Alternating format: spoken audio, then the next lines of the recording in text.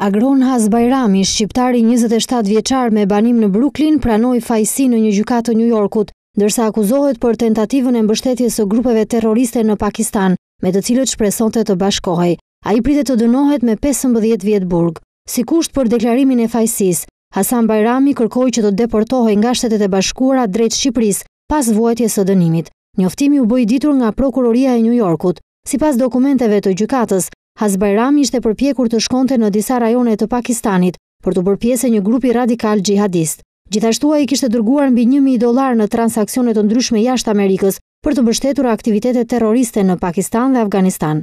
Hasbajrami kishte shkëmbyer mesazhe elektronike me një individ në Pakistan që i kishte thënë se ishte anëtar i një grupi të armatosur i cili kishte vrarë ushtarë amerikanë. Për të ruajtur fshehtësinë e komunikimit, Ai dhe kontakti në Pakistan përdorin adresa të ndryshme e-maili. Në një mesazh, Hasbajrami shprehej se ishte e vështirë t'u kërkonte para muslimanëve të tjerë, sepse ata distancoheshin kur ai u thoshte se i donte për xhihad. Më pesë shtator dy mijë e njëmbëdhjetë, shqiptari bleu një biletë pa kthim për në Turqi dhe nga komunikimet e tij me e-mail, rezultonte se ai do të shkonte në zonat kufitare të Pakistanit. Të nesërmen u arrestua në aeroportin John Fitzgerald Kennedy në Nju Jork. Pas arrestimit, në banesën e tij u gjet mes të tjerash edhe një shënim ku thuhej Mos prit për pushtimin, është koha për martirizim.